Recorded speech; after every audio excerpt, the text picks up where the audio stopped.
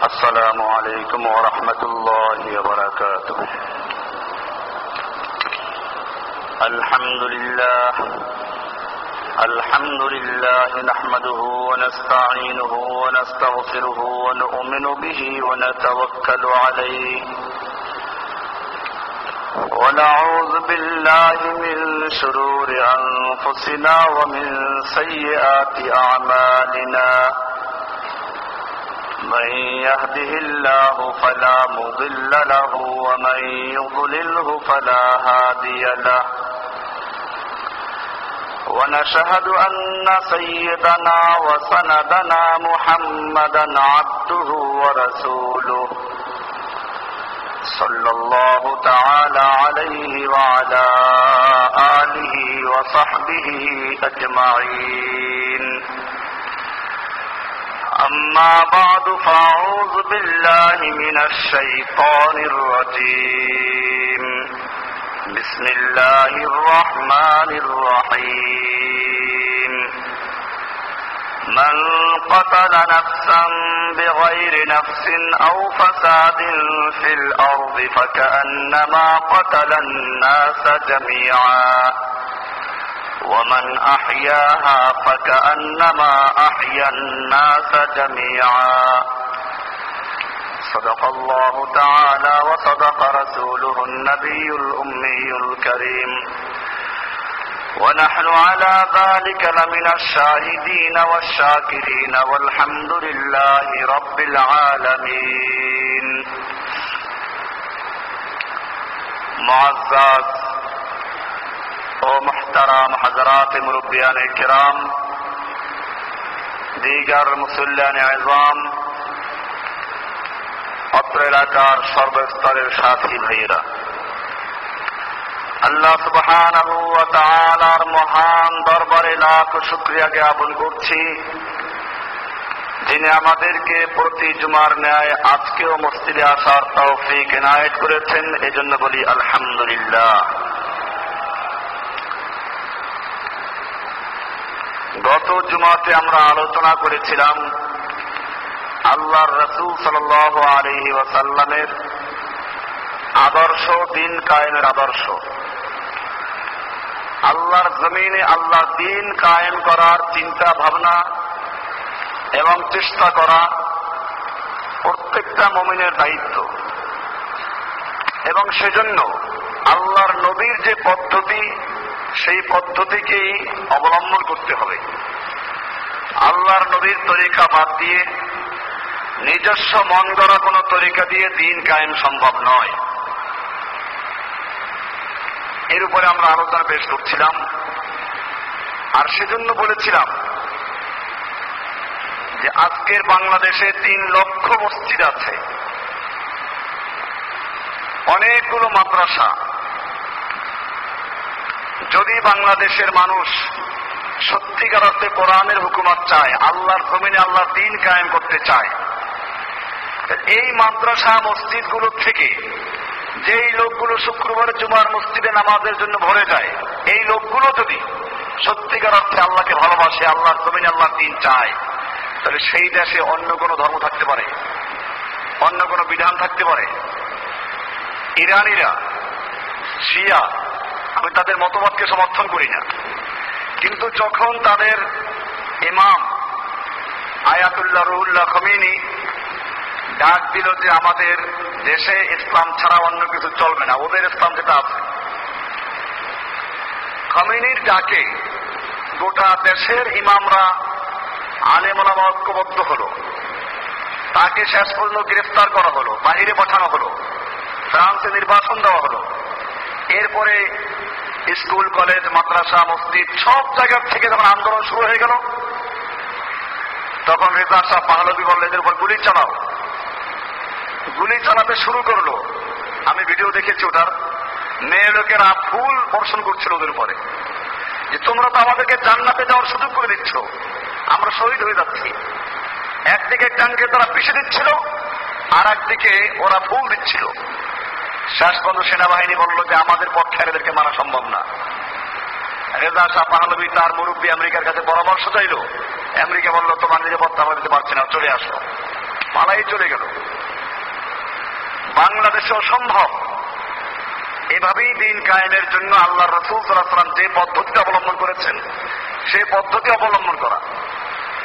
আমরা সেই পদ্ধতি বাদ দিয়ে ইহুদি, খ্রিস্টানদের তৈরি করা, কেউ গণতন্ত্র, কেউ সমাজতন্ত্র, কেউ জাতীয়তাবাদ অমুক ধর্ম, নিরপেক্ষতাবাদ, এইসব পথে ইসলাম কায়েমের জন্য চেষ্টা চালাচ্ছে।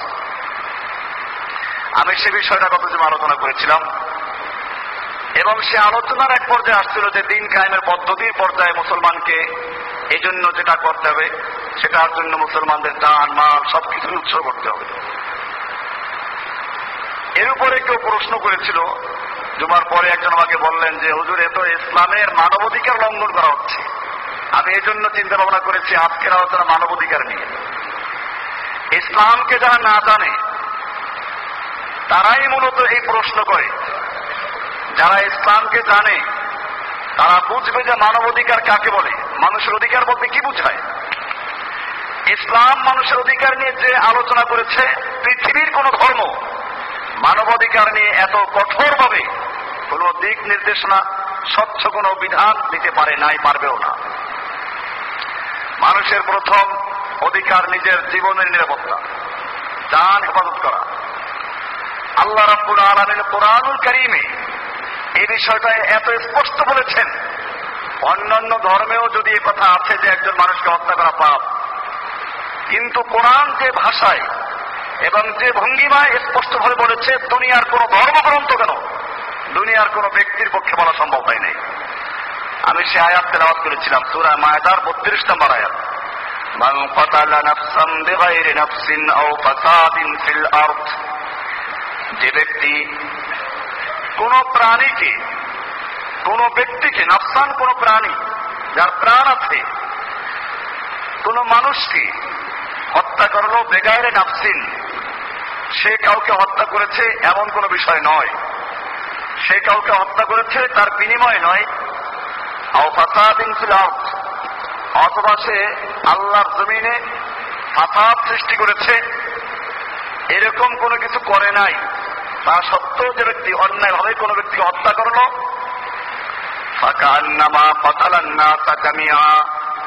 সেজন্য দুনিয়ার সমস্ত মানুষকে হত্যা করল। ওয়ামান আহিয়াহা পক্ষান্তরে যে ব্যক্তি কোনো মানুষকে, কোনো ব্যক্তিকে জীবিত রাখল, অন্যায় হত্যা থেকে বাঁচালো।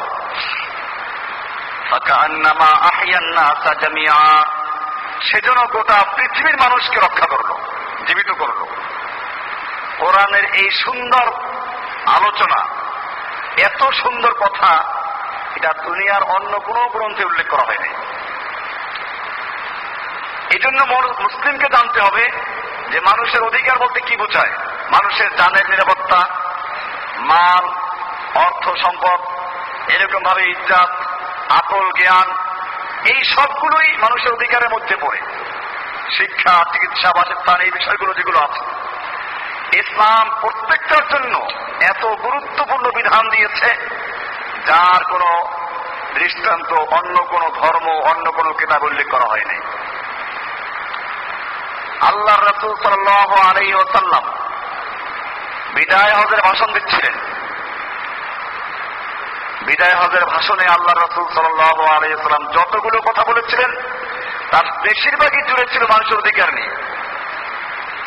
বিদায় হজের ভাষণ বলতে শুধু আরাফাতের ময়দানের ভাষণ না আল্লাহ রসুল সাল্লাহ আলাইসাল্লাম পাঁচটা ভাষণ দিয়েছিলেন বিদায় হজে।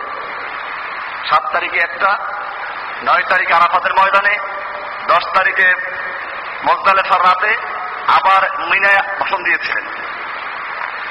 এই সব ভাষণগুলো মিলালে পরে দেখা যায় আল্লাহ রসুল সাল্লাহ আলাইসাল্লামের গোটা ভাষণটা ছিল মানুষের অধিকার নিয়ে আল্লাহ রসুল সাল্লাহ আলাইসাল্লাম মিনার ভাষণে বললেন আইয়মিন হাদা সাহাবিরা, বলো আজকের দিনটা কোন দিন?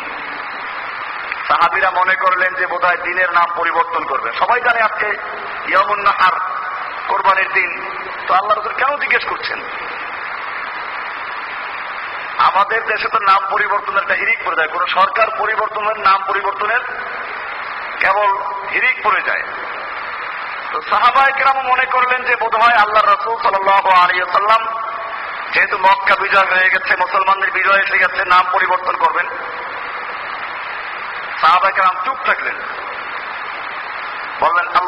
রসুল আলম। আল্লাহ এবং আল্লাহ রসুলই ভালো জানেন কারণ তারা জানে, তারাও তো জানে। আল্লাহ রসুল সাল্লাম জিজ্ঞেস করলেন আলাই সাহাব ইয়ামুন নাহার? আজকের এই দিনটি কি ইয়ামুন নাহার কোরবানির দিন নয়? সাহাবিরা বললেন, অবশ্যই কোরবানির দিন ইয়ামুন নাহার। বুঝলেন যে নাম পরিবর্তন করেন নাই। আল্লাহ রসুল সাল্লাম আবার জিজ্ঞেস করলেন এই মাসটি কোন মাস? সাহাবাহিকেরাম চুপ থাকবেন এক্ষেত্রেও। হাদিসে আছে, মেশকাতেও আছে হাদিসটা। সব কিতাবেই পাবেন, বিদায় হজের ভাষণ বলতে যেখানে আছে, সব জায়গাতেই আছে। আমরা মনে করলাম, আল্লাহর রসুল সাল্লাম সেই প্রসিদ্ধ নাম পরিবর্তন করে অন্য কোন নাম রাখবেন। সেজন্য তিনি জিজ্ঞেস করেছেন। আল্লাহর রসুল সাল্লাম বললেন আল্লাইসা শাহরু? জিলহজ্জা, এটা কি জিলহজ মাস নয়? সাহাবাকরাম বলেন, অবশ্যই জিলহজ মাস। আমরা তো মনে করেছিলাম, বোধহয় নাম পরিবর্তন হবে। আবার জিজ্ঞেস করলেন, আইয়ু বালাদিন হাদা? এটা কোন শহর? সাহাবাকরাম চুপ থাকলেন। আল্লাহ রসুল সাল্লাহ সাল্লাম বলে এটা কি হারাম শরীফ নয়?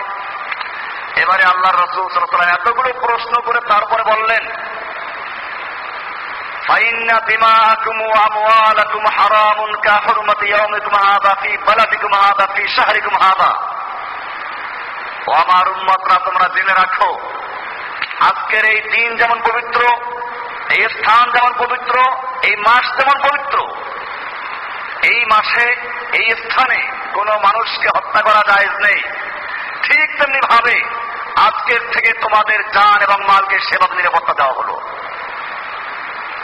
فإن دماءكم وأموالكم حرام كحرمة يومكم هذا في بلدكم هذا في شهركم هذا তোমাদের এই দিনে এই স্থানে এই মাসে যেরকম ভাবে কোন মানুষকে হত্যা করা জায়েজ নেই ঠিক তেমনি ভাবে তোমাদের কেমন পর্যন্ত তোমাদের জান নিরাপত্তা সেরকম ঘোষণা করা হলো আছে কোন ধর্ম আছে কোন কিতাব কোরআনুল করিমে সেজন্য মানুষের নিরাপত্তার জন্য বিধান করেছে। যদি কেউ কাউকে অন্যায়ভাবে হত্যা করে, কোরআন বলছে সুরায় বাকারার একশো আটাত্তর নম্বর আয়াতে, ইয়া আইয়ুহাল্লাযীনা আমানু কুতিবা আলাইকুমুল কিসাসু ফিল কাতলা হে ঈমানদারগণ, কুতিবা আলাইকুমুল কিসাস তোমাদের উপরে কিসাসকে ফরজ করা হয়েছে। কিসাস কেউ যদি কাউকে অন্যায়ভাবে হত্যা করে, তাকেও হত্যা করা যাবে। এমনি শরীয়তে হত্যা করা যায় তার কারণে। কয় কারণে? তার কারণে একজন মানুষকে মারা যায়। এক নম্বর কারণ, সে যদি কাউকে হত্যা করে ইসলাম বলে ওকে হত্যা করো। সব? দুই নম্বর বিষয় হলো, কেউ যদি কোন মহিলা, বিবাহিত মহিলা বা পুরুষ জিনা করে ব্যবচারে লিপ্ত হয় তাকে জন্য হত্যা করা হবে। তৃতীয় হলো, যদি কোনো ব্যক্তি মোরতাদ হয়ে যায়, ইসলাম ত্যাগ করে অন্য ধর্ম গ্রহণ করে, তাকেও কতল করা হবে? আরেকটা আছে। এই তিনটা হলো, আরও একটা আছে। চারটে কারণে মোট একজন মানুষকে হত্যা করা যায়। এর বাইরে ইসলাম হত্যা করতে বলে না। ফাসাদ যদি সৃষ্টি করে, ফাসাদ, তার মানে ফাসাদ বলতে আল্লাহর জমিনে আল্লাহর হুকুম, বিধান অমান্য করে, এবং সে এর বিরুদ্ধে যদি শিরিক ছড়ায়, তো সেখানে কিছু সত্য ছড়ায় আছে। এই ধরনের কিছু বিষয় আছে, এই বিষয়গুলো ছাড়া কোনো মানুষ হত্যা করা যায় না। কোরআনে বলা আছে, ইয়া আইয়ুহাল্লাযীনা আমানু কুতিবা আলাইকুমুল কিসাস। কুতিবা আলাইকুম, তোমাদের উপরে ফরজ করা হয়েছে। কিসাস কি? কিসাস হত্যার বিনিময়ে হত্যা করাকে ফিল কতলা, কেউ যদি কাউকে হত্যা করে, হত্যার ক্ষেত্রে কিসাসকে ফরজ করা হয়েছে। সূরা বাকারার একশো উনাশি নম্বর আয়াতে আরেকটু ব্যাখ্যা দিয়ে বলেছেন আল্লাহ তাআলা। এর পরবর্তী আছে ওয়ালাকুম ফিল কিসাসি হায়াতুন ইয়া উলিল আলবাব। তোমাদের জন্য কেসাসের মধ্যে রয়েছে বিশাল জীবন, হায়াতুন জীবন রয়েছে ফিল কেসাসে, কেসাসের মধ্যে। কেসাস হত্যার বিনিময় হত্যা, এই বিধান যদি তোমরা বাস্তবায়ন করো তাহলে তোমাদের এর মধ্যে জীবন রয়েছে, তোমাদের বেঁচে থাকা রয়েছে। জীবন রইল কেমন? একটা লোক হত্যা করে মারা গেল সে। তার তাফসিরিটাকে আল্লাহ রসুল সাল্লাম ব্যাখ্যা দিয়েছেন। একজন মানুষকে যখন কেউ হত্যা করে, সে জানে যে আমাকে হত্যা করা হবে তখন সে হত্যাই করবে না। আর যদি জানে যে কোনো ফাঁক ফকর বের হয়ে আসা যাবে, তাহলেই সে হত্যা করার জন্য চক্রান্ত করবে। আর নিশ্চিত যদি জানে আমি যদি হত্যা করি, তাহলে যে কোনো ভাবে আমাকে হত্যা করা হবে। কোন রক্ষা করার অধিকার কারণে সে কারও হত্যা করবে? আল্লাহ তালা সেজন্যই বলেছেন, তাহলে হত্যাকারীও বাঁচলো আর একজন লোককে হত্যা করতো সেও বাঁচলো। এই জন্য আল্লাহ তালা বলেছেন আলবাব। তোমাদের জন্য কেসাসের মধ্যে রয়েছে জীবন। যদি তোমরা বুঝো হে জ্ঞানী বিজ্ঞানীগণ, কোরআন বোকাদের জন্য না। বোকা মানুষ যারা তারা একটা শুনে কোরআনের বিরুদ্ধে লাগে আল্লাহ তালা বলছেন, ইয়া উলিল আলবাব, হে জ্ঞানী লোকেরা লাল্লাকুম তাত্তাকুন, যদি তোমরা বুঝো, তাহলে তোমাদের জন্য বলা হচ্ছে যে এই কেসাসের মধ্যে রয়েছে তোমাদের জীবন। তোমাদের জীবনের নিরাপত্তা। কারণ একজন হত্যাকারী যত বড় সাহসী যাই হোক, যখন সে জানবে যে তাকেও হত্যা করা হবে, তখন সে হত্যার যে উদ্যতই হবে। না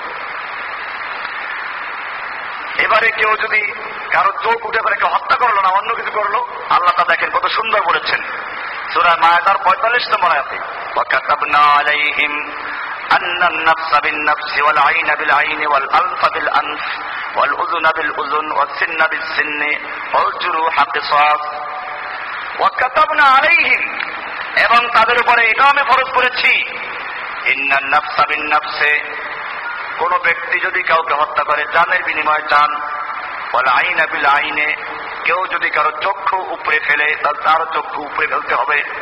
ওয়াল আনফাবিল আনফ, কেউ যদি কারও নাক কেটে ফেলে, তার নাক কেটে ফেলতে হবে। ওয়াল উজুনাবিল উজুন কেউ যদি কারও কান কেটে ফেলে, তার কান কেটে ফেলতে হবে। সিন্নাবিল সিন্নে কেউ যদি কারও দাঁত ভাঙ্গে, দাঁত ভেঙে দাও। ওয়াল জুরুহা কেসাস এইরকম ভাবে যে যতটুকু ক্ষতি করবে, জখম করবে আর অতটুকু তাকে কেসাস দিতে হবে। সুরা মায়াদার পঁয়তাল্লিশ নম্বরাতে বলা হয়েছে।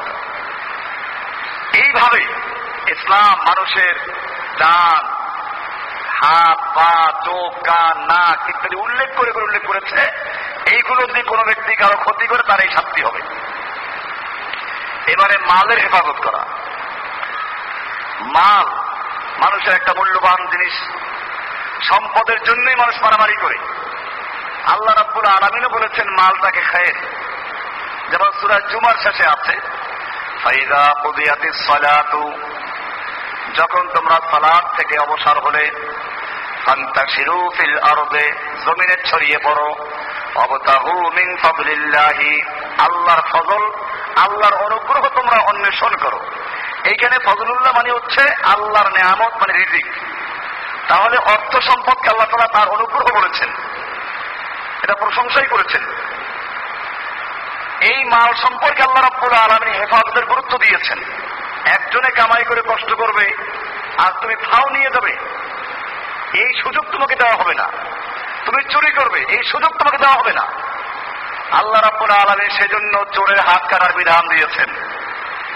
আর সারে কুয়া সারে পাতু فاقطعوا أيديهما جزاء بما كسبا نكالا من الله চোর চাই পুরুষ হোক চাই নারী হোক যদি তারা চুরি করে সপ্তাহ আইডিয়া হুমা ওদের হাত দুটো কেটে ফেলো হাত কেটে ফেলো অবশ্যই একসাথে দুইটা না হাত কাটার ইয়াতে প্রথম ডান হাত পরে চুরি করলে বাম হাত এভাবে নিয়ম আছে সপ্তাহ আইডিয়া হুমা জাজা আম্বিমা কাসাবা তারা যে অন্যায় করেছে সেই অন্যায়ের শাস্তি স্বরূপ আল্লাহ প্রদত্ত শাস্তি এটা। আমাদের বিচারকদেরকে জিজ্ঞেস করেন আইনজীবীদেরকে এটা বর্বর আইন। আল্লাহ রব্বুল আলমী আইন দিয়েছেন মালের নিরাপত্তার জন্য। যদি সত্যিকার অর্থে এই চোরের হাত কাটার বিধান থাকে, তার চুরি থাকবে দেশে। যান না সোনার মদিনায়। এই সোনার বাংলা সোনার মদিনা তুলনা করেন। যারা গেছেন তারা দেখেন আদান হয়ে গেছে। সোনার মদিনার স্বর্ণের দোকান পর্যন্ত খোলা। একটা কালো পর্দা ফেলে চলে গেছে নামাজ পড়তে। কেউ চুরি করবে? আর বাংলাদেশে সোনার বাংলার সোনার মস্তিরে আসেন না। মস্তিরে আসলেও জুতা নিয়ে চিন্তা থাকে, কোন জায়গায় লাগবে? আমাদের বছর জুতা নিয়ে গন্ডগোল লাগে, কোন জায়গায় বাস রাখব ভিতরেও জুতার বাচ্চা জুতাকে তারপর ঠিক রাখা যায় না। আল্লাহ রব্বুল আলমী সেজন্য এই আইন দিয়েছেন যে আইন কারও মাফ করার অধিকার নেই? আমি কেসটা শুনিয়েছিলাম? আল্লাহ নবী সাল্লাম মক্কা বিজয় করার তিন দিনের মাথায় কোরাইশ বংশের এক নারী, ফাতেমা নাম, সে চুরি করে ফেলছে। সকলের বুঝতে আর বাকি নাই যে এই চুরিতে হাত কাটা কেউ রক্ষা করতে পারবে না। সবাই বুঝে এসে গেছে। আল্লাহ নবী সাল্লাহ সাল্লামের কাছে ওরা বলতে চায় যে কোরাইশ বংশের মেয়ে, উচ্চ বংশের মেয়ে হাত কাটলে পরে বদনাম হয়ে যাবে, গোটা বংশের বদনাম। আপনিও তো ওই বংশেরই লোক, আপনার বদনাম হবে। কি সুন্দর কৌশল। বোখারি শরীফ, মুসলিম সে পড়বেন। এই যারা আইনের ব্যাপারে দুর্বলতা দেখায়, আবার বলে বর্বর আইন, এই লোকগুলো মুসলমানদের সঙ্গে সঙ্গে কাপের হয়ে আসে। আল্লাহর কোন আইনকে কোনো ব্যক্তি অস্বীকার করে, অবজ্ঞা করে, উপহাস করে, সে মুসলমান থাকে না। এটা সমস্ত এজমা ওলামায় কিন্তু একমত। একজন লোক যদি রোজা না রাখে, তাকে আমরা কাছে বলি না। যে ফরজ মানে সবকিছু মানে। কিন্তু যদি একজন লোক বলে রোজা রাখে পাইলে নাকি রোজা রাখে বাদুরে রোজা রাখা দরকারটা কি? সেই ব্যক্তি মুসলমান না কাফের? সমস্ত ওলামায় গ্রামদের ঐক্যমত কাফের। যদি কেউ বলে কাফের কিনা, সে জানে না আসলে বাপলা সে জানে না। না জানা স্বাভাবিক। আমি এটা প্রায় বলি। আমাদের দেশের মানুষ উজুবঙ্গের কারণ মুখস্থ করে। নামাজ ভঙ্গের কারণে কিছুটা জানে। রোজা ভঙ্গের কারণে কিছুটা জানে। ইমান ভঙ্গের কারণ কি জিজ্ঞেস করে বলতে পারবে? এখন যদি কোন ইমাম না জানে, সেই দোষ কি আমার? সমস্ত ওলামায় কেন এখানে, যে কোরআন এবং হাদিস দ্বারা স্পষ্ট বর্ণিত কোন বিধানকে যদি অস্বীকার করে, পালন না করে বলছি না। পালন করে না, অলসতার কারণে। কিন্তু সে বিশ্বাস করে ফরজ মানে। সে সম্পর্কে কাছে বলা হয়নি।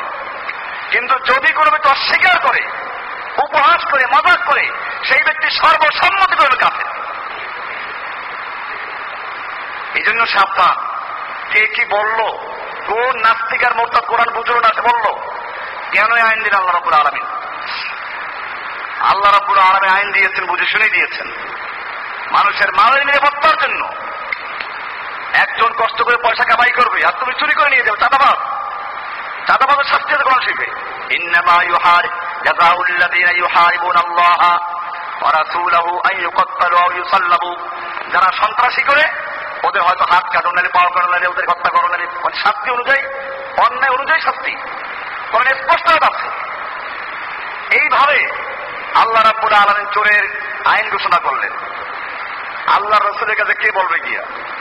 বলার জন্য আল্লাহর রসুলের পালক পুত্র জায়েদ, তার পুত্র ছিল উসামা। তাকে সবাই নির্বাচন করল যে সে নাতি, আল্লাহ নবীর আদরের নাতি। তাকে দিয়ে বলানো যাবে। আল্লাহ নবীর কাছে গিয়ে বলবে, বললেই তো হয়ে যাবে। বলাটাই মুশকিল। কি সুন্দর আপনাদের আশা। উসামাকে বলল, যে এরকম তুমি আল্লাহ নবীর কানে এই কথাটা পৌঁছাইবা, যে এরকম যে চুরি করেছে একটা মহিলা, বিচার আসবে তার কোরাইশ বংশের মহিলা। হাত কাটলে পরে কোরাইশের বদনাম হবে, আপনার বংশ, কোরাইশ বংশ। উনি বললেন যে, কত কথাই না বলি, তো এটাই বলব, অসুবিধা কি? আল্লাহ নবীর কাছে গিয়ে বললেন, মুসলিম হাদিস দেবেন খুলে আল্লাহ রসুলের চেহারা লাল হয়ে গেল। এহমার আইনাহু চোখ দুটো লাল হয়ে গেল। বহু আল্লাহ নবীর রাগ খুব কঠোর হয়ে গেল। এবং বললেন আত্মাস ফাউফি হদুদিল্লাহ উসামা এ উসামা, তুমি আল্লাহ হুদুদ, আল্লাহর দেওয়া শাস্তির ক্ষেত্রে সুপারিশ করছ। জেনে রাখো, অল্লাহে ইন্না ফাতেমাতা বিনতে মোহাম্মদ সারাফাত কুরাইশ বংশের মেয়ে ফাতেমা নয়, আল্লাহর নবী মোহাম্মদের মেয়ে সাল্লাহ আলাইসালাম যদি মোহাম্মদের মেয়ে ফাতেমা চুরি করতো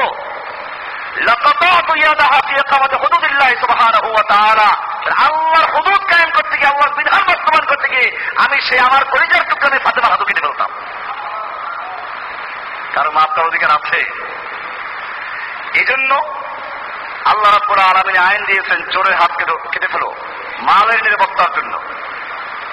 কোরআনে এতিম, গরিব, অসহায়, এইসব মানুষের অধিকারের জন্য মানুষ কথা বলে। কথা পর্যন্তই শেষ করে।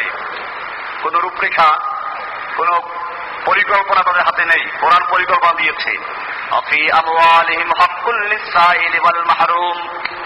ধনীদের মালের মধ্যে বঞ্চিত প্রার্থী গরিব অসহায় মানুষদের অধিকার রয়েছে। অধিকার? কোন অনুগ্রহ নয়, আমি জাকাতের বয়ান দাস রমজানের কথা বলে থাকি। রমজান আসলেই একদল মানুষ, কিছু মিল কারখানার মালিক। পাতলা সুতা দিয়ে, রং কাতা দিয়ে তারা কিছু শাড়ি তৈরি করে দেয়। জাকাতের শাড়ি। আর এইগুলো যারা দেয়, তারাও মাশাল্লাহ দিন তারিখ নির্ধারণ করে দেয়, তার লোক মারা যায়। এটা কোন অনুগ্রহ?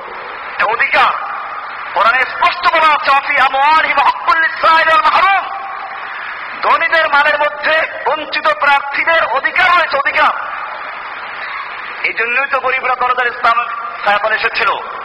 যখন শুনল অধিকার হ্যাঁ অধিকার। আমাদের এতদিন পর্যন্ত ওরা জুলুম করেছে, শোষণ করেছে। আল্লাহ রসুল সাল্লাম বলেন, ইসলামের ছায়াতলে আসা, অধিকার আদায় করা হবে। এবং ঠিকই অধিকার আদায় করা হয়েছিল। জাকাত ভিত্তিক অর্থ ব্যবস্থা যেমন চালু হলো গোটা হেজাবের জমিনে একজন গরিব পাওয়া যায় না জাকাত দেওয়ার মতো এতিমের মালদের সম্পর্কে বলেছে এতিমের অধিকার ولا تقربوا مال اليتيم الا بالتي هي احسن সূরা নামের 152 নম্বর আয়াত ولا تقربوا مال اليتيم তোমরা ইতিমের মালের ধারে কাছেও যেও না বলে ধারে কাছে যেও না তাহলে তো ওদের দেখাশোনা করবে কি ইল্লা বিল্লাতি হিয়া আহসান হ্যাঁ উত্তম পদ্ধতিতে তুমি তার মালের দেখাশোনা করো ভালোভাবে ব্যবহার করো, এমনকি দেখাশোনার করতে গিয়ে তোমার কিছু খেতে হয়, প্রয়োজন মতো খেতে পারো। এতিমের হেফাজত করতে গিয়ে, লালন পালন করতে গিয়ে তোমার নিজের কোনো মাল নেই। আর সেখানেও কোরআন বলছে, তুমি তারটা খেতে পারো। কিন্তু খবরদার, এতিমের মাল যেন অন্যায় হয়, তুমি না খাও। কোরআন আরও বলছে সুরায় নিসা এই দশ নম্বরটা আছে ইন্নাল্লাযীনা ইয়াকুলুনা আমওয়ালাল ইয়াতামা যুলমান, ইন্নামা ইয়াকুলুনা ফি বুতুনিহিম নারা। নিশ্চয়ই যারা এতিমের মাল অন্যায় অবৈধভাবে খায়। নারা। ওরা ওদের পেটে খাবার খাচ্ছে না জাহান নামের আগুন দিয়ে পরিপূর্ণ করছে। অচিরে তাদেরকে জাহান নামে নিক্ষেপ করা হবে। সুরাই নেশা দশ নম্বর এবারে মাল হেফাজত করার জন্য কত লাইনে আলাদা আওয়াজ কথা শুনুন। এবারে কিছু লোকে মানুষের মাল খায় ধর্মীয় পন্থায়। পীর গায়ে কি ওয়াজ করতে গেলে আমার কাছে সামনে হাজির আছে লোক। পীর সাপ বয়ান দিচ্ছেন মা বাবার কাছে আর পীরের কাছে গেলে কিছু হাতিয়ে তো বানিয়ে আসতে হয়। কারণ ওরা তারা গরিব মানুষ আমার মুসল্লি। যায় কোনো হাতিয়ে নিয়ে যায় দেখা দেখা তারা হুজুর দোয়া আনতে যায়, কিন্তু কোনো সময় পয়সা নিয়ে যায় না। পীর সাহেবের ঝামেলা। পয়সা ছাড়া লাভ আছে কিছু? আমার তো পয়সা দরকার। সেই জন্য তারা খবর দিল যে মা বাবার কাছে যেতে আর পীরের কাছে গেলে পরে কিছু হাতিয়ে নিয়ে যেতে পারে। মা বাবাটা ঠিক আছে, কিন্তু ভালো কথা। পীরের কাছে কোন কিতাবে আছে? আল্লাহ তারা দেখেন কত সুন্দর বলেছেন, আমার বানানো কথা না করেন আয়াত। ঝগড়া করলে আল্লাহ সাথে কি করেন? সোরায় তবার চৌত্রিশ নম্বর আয়াত। শুনুন ভালো করে। ইয়া আইয়ুহাল্লাযীনা আমানু, হে ঈমানদারগণ, ইন্না কাসীরাম মিনাল আহবার। জেনে রাখো, অনেক আহবার। আহবার মানে বড় বিজ্ঞ আলেম, ওয়ার রুহবান, এবং যারা অত বড় আলেম না, কিন্তু দরবেশ, পীর বুজুর্গ, রুহবান, খ্রিস্টান এবং এহুদির মধ্যে দুই শ্রেণির লোক ছিল। এক শ্রেণির লোক হল আহবার, বড় বড় বিজ্ঞ আলেম। আর এক শ্রেণির লোক ছিল আলেম না, কিন্তু তারা পীর হয়ে বসেছিল। অলি আল্লাহ নাম দিয়ে। আল্লাহ তারা উল্লেখ করে বলছেন, ইন্না কাতির আমিনাল আহবারে জেনে রাখো, অনেক বড় বড় বিজ্ঞ আলেমেরা, আহবারেরা, ওয়ার রহমান এবং রাহেবরা বৈরাগী, দুনিয়া ত্যাগী বুজুর্গ লাইয়াকুলুনা আমওয়ালান নাসি বিল বাতিল। অনেকেই তারা লাইয়াকুলুনা খায়, অবশ্যই খায়। আমওয়ালান নাস মানুষের মাল বিল বাতিল অবৈধভাবে অন্যায় ভাবে তারা মাল খায়। কেমনে খায়? ওই যে হাতিয়া তো বাপির কাছে নিয়ে আসে, এটা জরুরি। আমি দিন শিক্ষা দেবো তাকে হাতিয়া দেবো কি জন্য? হাত যদি গরিব হয় উস্তাদ তাকে আপনি সাহায্য করেন, অসুবিধা নেই। আমি তার মিস করছি না গরিব, অসহায় মানুষ, আমি তার থেকে উপকৃত তাকে হাতিয়ে দেবো। হাতিয়ে দেবো না যায় না। কিন্তু যে বাচ্চারা দিচ্ছে, সেই বাচ্চারা গরিব। আর তোমার তো মার্কেট আছে, একটা দুইটা ঢাকা হাউজিং এর মালিক তুমি। বড় বড় কোম্পানির মালিক, বড় বড় অট্টালিকার মালিক। আল্লাহ নবী কয়টা অট্টালিকা করেছিলেন? কয়টা হাউজিং কিনেছিলেন? আর কয়টা কোম্পানির মালিক ছিলেন? আল্লাহ তারা বলছেন এরা অন্যায় অবৈধ ভাবে বাতিল পন্থায় মানুষের মাল খায়। এবং আল্লাহর রাস্তা থেকে তারা মানুষকে বাধা প্রদান করে। একজন লোক যখন আল্লাহর রাস্তায় চলতে চায়, আল্লাহকে দেখতে চায় সেখানে আর তুমি অশিক্ষিত, তুমি মিসকিন, তুমি পাপি, আল্লাহকে ডাকলে পাইবে না, পীরের মাধ্যমে ডাকতে হবে। এ ওয়াজ আমি বহুবার করেছি। এই যে মাধ্যম, আমি বারবার বলেছি, ইয়াকা না বুধু আমরা তোমার করি নামাজ দাঁড়িয়ে বলি মাধ্যমে না বলে সরাসরি বলি। সরাসরি বলা হচ্ছে লাভবাহিক আল্লাহ লাভবাহিক সরাসরি না ভাইয়ের মাধ্যমে আর এখানে কলম মোতাবাজ্য করতে হবে। যেখানে যেখানে একই কথা। কলম মোতাবাজ্য করায়। আমিও বলি, ভালো বলি। আমি আমার কলমের দিকে মোতাবাজ্য আমার কলম হুজুরের কলমের দিকে মোতাবাজ্য হুজুর তার পীরের দিকে। এই সিলসিলা যত পীর মাসায় সব হইয়া, তারপরে নবীর দিকে মোতাবাজ্য তারপর আল্লাহর দিকে মোতাবাজ্য আচ্ছা আপনি যে সাহেবের দিকে কলম মোতাবাজ্য করলেন, ওই পীর সাহেবের কলম যে সত্যিকার অর্থে আল্লাহর দিকে মোতাবাজ্য কোনো গ্যারান্টি দেওয়া যাবে? আপনি ভালো ধারণা করতে পারেন, ঠিক আছে। কিন্তু গ্যারান্টি দেওয়ার অধিকার আপনার নেই। অন্তরের খবর জানে কে? আপনি যখন কলম মতো মোতাবাজ্য করলেন, সেই সময় হুজুর কেবলা পায়খানায় বসে আছে। হুজুর কেবলার কলম কোন দিকে? অথবা হুজুর কেবলা, আপনি যখন কলম মোতাবাজ্য করেন, সে সময় তার স্ত্রী নিয়ে মশগুল আছে। তাহলে হবে কি অর্থ এই? আমি আমার কলমের দিকে মতো আচ্ছ আমার কলম হুজুর কেবলার কলমের দিকে মতো আচ্ছ হুজুর কেবলার কলম পায়খানার দিকে মতো আচ্ছ আমার কলম পায়খানা চলে গেছে।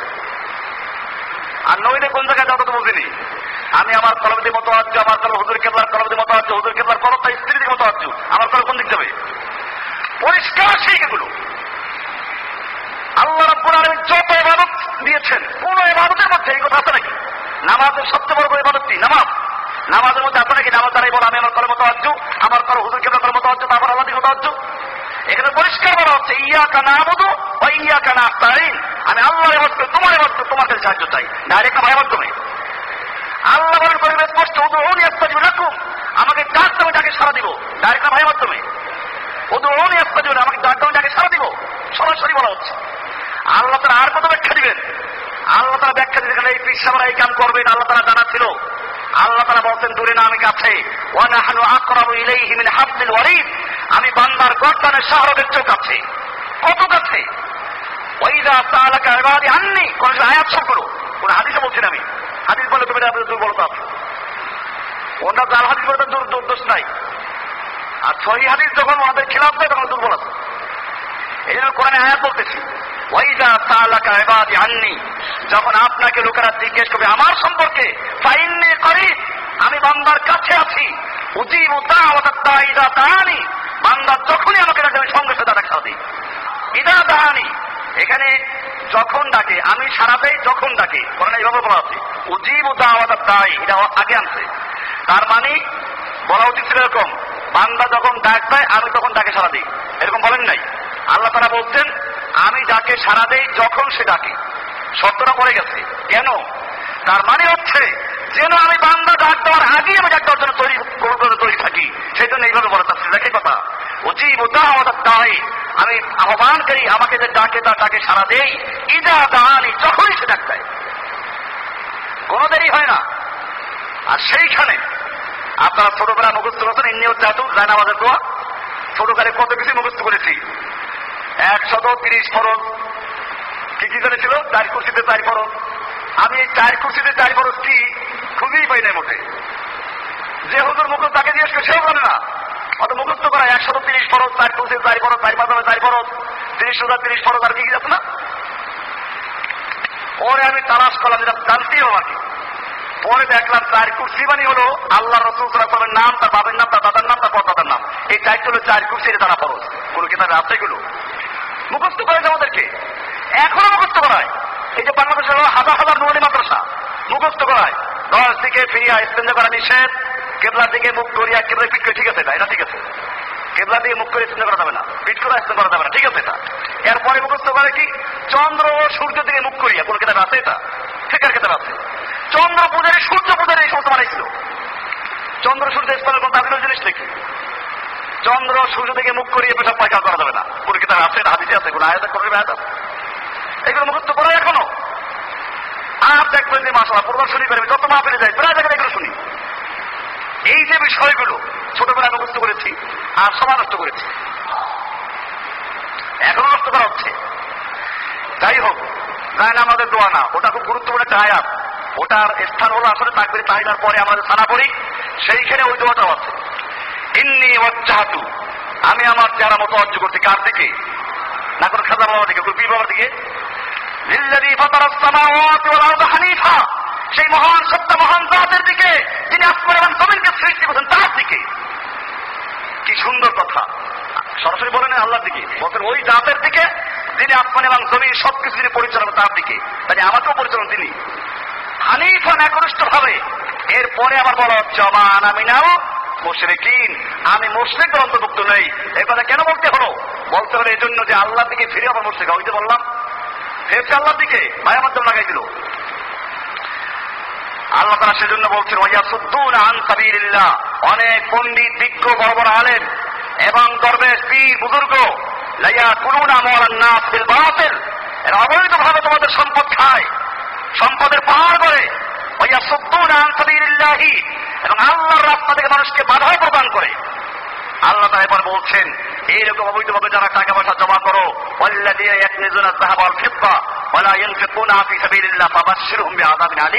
ওদেরকে সুসংবাদ দাও, কষ্টদায়ক শাস্তি সুসংবাদ। কষ্টের আবার সুসংবাদ নেই শাস্তি সুসংবাদ নাকি মজাক করে আলোচনা যেমন বাচ্চাদের পা মজা পাবি পিঠতে বল মজা পাবি। পিঠে মজা পায় নাকি? আল্লাহ তারা মজাক করে বলছেন, ফাবাশশিরহুম আদাবিন আলীম।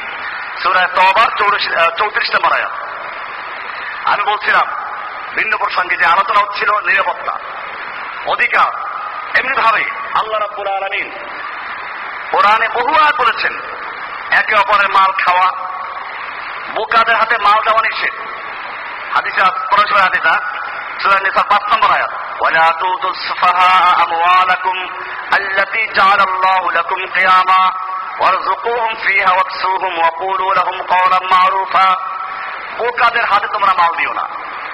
যে মাল আল্লাহ তালা তোমাদের হাতে দিয়েছেন, তোমাদের দায়িত্বে দিয়েছেন, সেই মাল দেখাশোনার দায়িত্ব আল্লাহ তালা তোমাদের অর্পণ করেছেন, এইগুলো বোকাদের হাতে দিও না। কারণ সে মালের মূল্য বুঝরা নষ্ট করবে।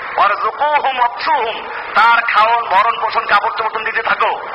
কিন্তু অকুল রহম কলাম মারুফ, তাকে ভালো করে বুঝে শুনে, ভালোভাবে কথা বলো। তার হাতে মাল দিও না। সোরা নেশা পাঁচ নম্বর আয়াত। এমনি ভাবে আল্লাহ রাব্বুল আলামিন সম্পদ হেফাজতের জন্যই নিরাপদ আয়াত নাজির করেছেন। সম্পদ হেফাজত করার জন্যই কোরআনের সবচেয়ে বড় আয়াত, একেবারে এক পৃষ্ঠা দেবে একটা আয়াত, সুরা বাকারা দুশো বিরাশি নম্বর আয়াত। লেনদেন সম্পর্কে লেনদেন সম্পর্কে। আজকাল তো মাশাল্লাহ এই বুজুর্গ সব ঠিক কথা লেনদেন করতে পারে। টাকা পয়সা হাতে গেলে দেখা যায় মাশাল্লাহ আর কি থাকে না? তখন বুজুর্গ ঠিক পাওয়া যায়। এর ভুরি ভুরি নদীর আমাদের কাছেও আছে। আমি সেগুলো বলতে চাই না। কোরআনে পরিষ্কার বলা শুরু হয়েছে এখান দিয়ে ইয়া আইয়ুহাল্লাযীনা আমানু ইযা তাদায়ানতুম ইলা দাইনিন ইলা আজালিন মুসাম্মান ফাকতুবুহু। এইখান থেকে শুরু করে পুরো এক পৃষ্ঠা ব্যাপী একটা আয়াত। কি সম্পর্কে? এই লেনদেন সম্পর্কে লেনদেন সম্পর্কে। ভালো করে বুঝে রাখবেন। এই লেনদেন দিয়ে পরীক্ষা করা যায় কোন বুজুর্গ কি অবস্থা? কার কি হালত? তাবিজ দেখতে গেলে পাঁচশো পাঁচ টাকা, এক টাকা লাগবে। বাটার রেট আছে এরপরে আরও কত কিছু আছে? আল্লাহ তারা সেটাই বলেছেন যে, তোমাদের অনেক পীর বুজুর্গ, অনেক আল্লাহর অলি নাম দিয়ে তোমাদের মাল অবৈধভাবে খায়। এবং তারা আল্লাহর রাস্তা থেকে তোমাদেরকে বাধা দেয়। এটা কি আমার কথা না কথা? কোরআনের আয়াত, সুরা তবার চৌত্রিশ নম্বর কথা বলেছেন। মনে রাখবেন এগুলো। এরপরে অধিকার, সবচেয়ে বড় যে এখন অধিকার, মানব অধিকারের মধ্যে ঢুকায় মেয়ে লোকের অধিকার। মেয়ে লোকদের অধিকার নিয়ে যদি আমি কথা বলতে চাই কয়েক জমা লাগবে। ইনশাল্লাহ বলব। কারণ এটা একটা অস্ত্র বর্তমানে। আমি এটাকে বলি ওই যে শিয়াল, মুরগির খোপের কাছে গিয়ে বলে, মুরগি, তুই এখানে আটকে আছো। সামনে কত সুন্দর আবহাওয়া, কত ঘণ্টা টানা পানি। আয়, বের হয়ে আস। শিয়াল আর খানাতে যুক্তি করে এই কাম শুরু করল। কি জন্য ক্ষুদায় পেয়েছে, খেতে হবে। ঠিক তেমনি ভাবে একদল ইবলিস যাদের দেশে মা বোন বলতে কিছু নেই, রাস্তাঘাটে যারা জেনারেল বিচারে লিপ্ত হয়, হায়া লজ্জা শ্রম বলতে কিছু নেই। ওরা দেখল বাংলাদেশে এসে যে এখানে মেয়েরা পর্দা করে। এখানে মেয়েরা রাস্তাঘাটে তারা লজ্জা করে চলে, পর্দা করে চলে, কাপড় চোপড় শরীরে আছে উলঙ্গ পরে নাই, বেহায় পরে নাই। এদের নষ্ট করা যায় কেমনে? এই জন্য স্লোগান তৈরি করল। মেয়ের উপর অধিকার নিয়ে আমি সব আলোচনা আগামী জমাতে এটা বিস্তারিত আলোচনা হবে। আল্লাহ রসুল সাল্লাম যেই সময় দুনিয়ার আগমন করেছেন, সেই সময় মেয়ে লোকের অধিকার তৈরি কথা মেয়ে লোকের মানুষই মনে করা হতো না। বড় বড় সেমিনার বসতো পৃথিবীতে যে মেয়ে লোকের আসলে মানুষ কিনা। ওরা গবেষণা করছে যে মানুষের শরীরের জন্য যে কাঠামো দরকার, যা কিছু দরকার, সেটা নাই। অনেক ক্ষেত্রে দুর্বল তারা। সেজন্য এখন তো আমার বড় বড় সেমিনার হচ্ছে বাংলাদেশে যে মেয়ে লোকরা পুরুষের থেকে কোন কোন ক্ষেত্রে দুর্বল, সেটা পূরণ করা যাবে। আমাকে একজনে বলাবার আমি বললাম যে এক জায়গায় দুর্বল আছে, মেয়ে লোকে বাচ্চা গ্রহণ করে পেটের ভিতরে। এইটা কেন পুরুষকে দেওয়া যায় সেই চিন্তা করা আগে? যে কন্ট্যাক্ট করতে হবে যে এক বাচ্চা, একটা বাচ্চা পুরুষ নেবে, আর একটা বাচ্চাকে নেবে? মহিলা নেবে। এইটা আগে সমাধান করো। তারপরে সমানভাবে চেষ্টা করবা কি করা যায়, কোন দুর্বল কি করা যায়। আমাদের কষ্ট লাগে, গ্রামগঞ্জে গেলে দেখে রাস্তায় মাটি কেটে কারা? মেয়ে লোকেরা, মেয়েকে অধিকার দিয়ে দিচ্ছে, অধিকার। ইসলাম এইটা বলে নাকি? রাস্তায় লোকেরা কাজ কাজ দেখেন না, গ্রামগঞ্জে গেলে দেখবেন, ভারী ভারী রাস্তার কাজ করে কারা আমার বাড়ির সামনে রাস্তার কাজ চলছে। এই কয়েকদিন আগে গেলাম। এই কাজ করে সব মেয়ে লোকেরা। আমার কষ্ট লাগল যে মা বোন, আল্লাহ রব্বুর আলমিন যাদেরকে মূল্য দিচ্ছেন মায়ের মূল্য, যাদের সম্পর্কে কোরআন বলছে ওদেরকে তোমরা বসে বসে খাও। আর সেই মেয়ের অধিকার দিয়ে এখন আপনার আমাদের মাটি কাজ করার জন্য। তারপরে এই যে কি কাজ করে, এই যে বিল্ডিং এর কাজে যত দেখবেন এই করে যে ঢালাইয়ের কাজ যখন চলে, বেশিরভাগ কেনা করে? আল্লাহ যেই সমাজে এখন পর্যন্ত জাহিলিয়াতের কাজগুলো আছে, আপনি ভারতে যান না? ভারতে মেয়েদেরকে এখনও কি যদি কারও ব্যাগ পরীক্ষা দেখে যে মেয়ের সন্তান পেটে কি আছে? যদি জানে মেয়ে সন্তান, ওটা বের করে ফেলে কেটে ফেলে দাও। ভারতের বহু বিচার বহু ডাক্তারদের জন্য শাস্তি হয়েছে। এই বর্তমান যুগে জাহিলিয়া চিকিৎসা বলতেছি আমি। জাহিলিয়া চিকিৎসা বলি না। বর্তমান যুগে যা পত্রপত্রিকা আসে ওপেন যে বিষয়গুলো। এরপরে আপনারা দেখেন স্বামীর চিতায় যদি স্বামী মারা যায়, তাহলে মেয়ে যদি স্বর্গে যেতে চায়, তাকে তাহলে কি করতে হবে? ওই স্বামীর চিতায় গিয়ে তাকে আত্মহত্যা দিতে হবে। কোরআন এই বিষয়গুলো সব উল্লেখ করেছে। আল্লাহ রসুল সাল্লাহ যেই সমাজে আসলেন, সেই সমাজে মেয়ে লোকদেরকে সম্পদ দেওয়া তো দূরের কথা। মেয়ে লোকদেরকে আরও সম্পদ হিসেবে ভাগ করে নেওয়া হতো। বর্তমানেও করে। যদি কোনো বাপ মারা যায়, এতেই বসা হয়। দুই তিনটা মেয়ে আছে কোনো ভাই নাই। তখন ওই চাচাবাতি যারা করে কি? এদের ভাগ করে নিয়ে যায়, কারণ বিয়ে দিতে গেলে সম্পত্তি দিয়ে দিতে হবে। ভাগ করে নিয়ে যায়। আরব যুগে এরকম মেয়েদেরকে ভাগ করে ফেলতো। কোরআন সেগুলো বলছে, ইয়া আইয়ুহাল্লাযীনা আমানু লা ইয়াহিল্লু লাকুম আন তারিসুন নিসাআ কারহা হে ঈমানদারগণ খবরদার! তোমরা মেয়েদেরকে জোর করে তাদের ওয়ারিশ হতে পারবে না। মানে তাদেরকে অনেক সূত্র মানে মিরাসের সম্পত্তি মানে তারা ভাগ করে বের করতে পারবে না। ওয়ালা তা'দুলুহুন্না তো তাদেরকে আটকে রেখো না। লেতা জাহাবু বা মা তাই তুমি হুন না তাদের মালগুলো তোমরা ভোগ করার জন্য। সুরাই নেতার উনিশ নম্বর আছে। আর এক জায়গায় আছে, মেয়েদেরকে যে জীবন্ত কবর দেওয়া হতো, সে সম্পর্কে কোরআন বলছে। কি বলে শুনুন?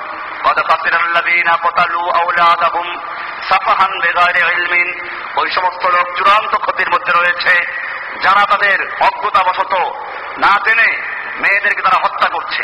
সুরা আমার একশো চল্লিশ নম্বর এরকম সুরা তাকবীর, কুব্বিরাতের নয়, দশ নম্বর, আট নম্বর আয়াত আছে। ওয়াইদাল মাউদ সহিলাম যে কেয়ামতের মাঠে এই মাউদা জীবন্ত কবর দেওয়া হয়েছিল যে মেয়েদেরকে, আল্লাহ রব্বুল আলমী সেই মেয়েদেরকে জীবন্ত, জীবিত করবেন। তাদেরকে জিজ্ঞেস করবেন যে আইয়ে দামবিন কুতিরাত তোমাকে কোন অপরাধের কারণে হত্যা করা হয়েছিল? এটা কি জন্য? যারা হত্যা করেছিল, তাদের বিচার করার জন্য আল্লাহ কারবার করবেন। তাহলে বোঝা যায়, আজকে যারা বলে ইসলাম, নারীদেরকে চার দেয়ালে আবদ্ধ করে ফেলেছে পর্দার হুকুম দিয়ে আমি বলতে চাই, ইসলাম নারীদেরকে দেয়ালের মধ্যে আটকায় নাই। ইসলাম তো নারীদেরকে কবর থেকে বের করেছে। নারীদেরকে কবর দেওয়া হতো। সেই কবর থেকে বের করেছে মেয়েদেরকে আল্লাহ রসুল সাল্লাহ কোরআনের মাধ্যমে কোরআনে আইনের মাধ্যমে। আল্লাহ রসুল সাল্লাহ সাল্লামের যুগে কোন কবর, জীবন্ত কবর দেওয়া হয়েছিল? কোন মেয়েকে পেয়ার দিয়ে বের করে তারা হত্যা করা হয়েছিল? আজকের এই আধুনিক যুগে, সভ্যতার যুগেও যে কাজটা করা হচ্ছে, আর বলে যে নারীদের অধিকার নিয়ে ইনশাল্লাহ নারীর অধিকার আমরা আলোচনা করব আগামী জমাতে, ইনশাআল্লাহ। আল্লাহ তারা যদি তৌফিক দান করেন, যে অধিকার কাকে বলে এবং কীভাবে, কোরআন স্পষ্ট বলে দিয়েছে। বর্তমানে আপনারা মেয়ে যদি এত অধিকার নিয়ে কথা বলো, তোমার তিনটা মেয়ে হোক না, খুশি হয় না বেজা হয়। কোরআন বলছে তোরা নাহালের আটান্ন নম্বরে আছে ওইরা পুষ্যেরা আদহুম বিল উনসা। ওই জাহিলি যুগে যখন তাদের কাউকে এই সুসংবাদ দেওয়া হতো যে তার মেয়ে হয়েছে মুসওয়াদ্দান, তখন তার চেহারাটা কালো হয়ে যায় মলি সাওয়াত মুসওয়াদ্দান একেবারে কালো হয়ে যায়, কালো কুচ্ছিত হয়ে যাও হুয়া কাসিম ইয়াতাওয়ারা মিনাল কওম মিন সুই মা বুশরা সে অন্য লোকদের কাছে দেখা বন্ধু বান্ধব তার সজাতীয় লোকদের কাছে দেখা যায় না, সব পালাই পালাই থাকে। কি জন্য? যে মা, মিন সুই মা বুশরা বিহি, বড় দুঃসংবাদ, খারাপ সংবাদ মেয়ে হয়েছে। আমি আলা হুনিন আমি ইয়াদুসসু এটাকে কি অপমান সহ্য করে মেয়েটাকে রেখে দিবে, নাকি এটাকে মাটির মধ্যে পুঁতে ফেলবে? সেই চিন্তায় পড়ে যায়। আল্লাহ আল্লাহ তারা বলছেন, তারা যে কাজ করছে, বড়ই খারাপ কাজ করছে, অন্যায় কাজ করছে। সুরায় নহাদের আটান্ন নম্বর আয়াত। এইভাবে আল্লাহ রব্বুল আলম মেয়েদের সম্পর্কে বিধান দিয়েছেন। কোরআন সেটা সুরার নাম সুরায় নেশা কি সুরা? নেশা মানি হল মেয়েরও। এইভাবে আল্লাহ রাব্বুল আলমের অধিকার দিয়েছেন মেয়েরদের মেয়েরদের অধিকার নিয়ে কথা বলেছেন। আর এখন মুসলমানদেরকে শিখায় নারীর অধিকার সম্পর্কে।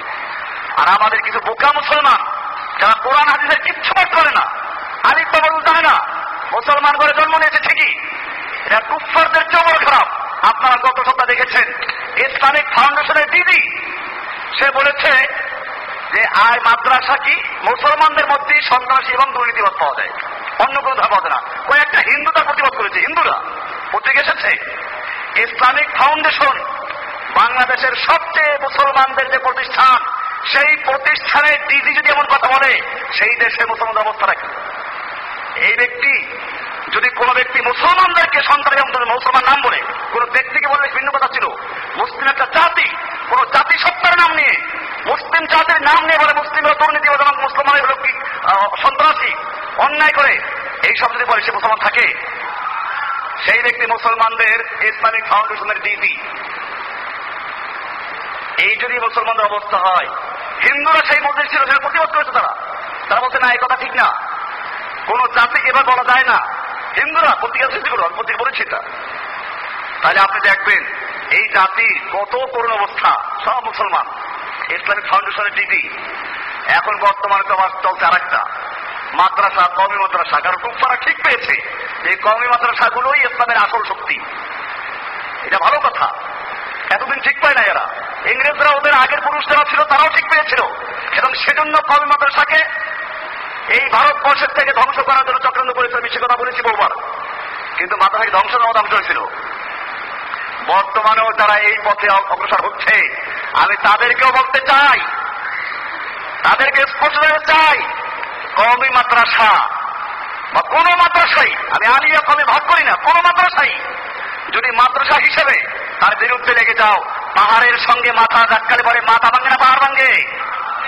কমি মাদ্রাসার বিরুদ্ধে যারা লেখছে, যারা বলছে, যারা এদেরকে জঙ্গিবাদ প্রমাণ করতে চায়, আমি স্পষ্ট বলতে চাই, ইনশাআল্লাহ কম মাদ্রাসা আল্লাহর দিনের জন্য বাংলার দিকে থাকবে, যারা মাদ্রাসার বিরুদ্ধে কথা বলছে, বাংলার জন্য পরামর্শ খুঁজে হবে না, ইনশাআল্লাহ। এই জন্য সাবধান। এই সরকারের ভিতরে ঘাটতি মেরে থাকা ঠিক ভারতের দালাল, ইহুদিদের দালাল, খ্রিস্টানদের দালাল যারা তারা এই চক্রান্ত করছে।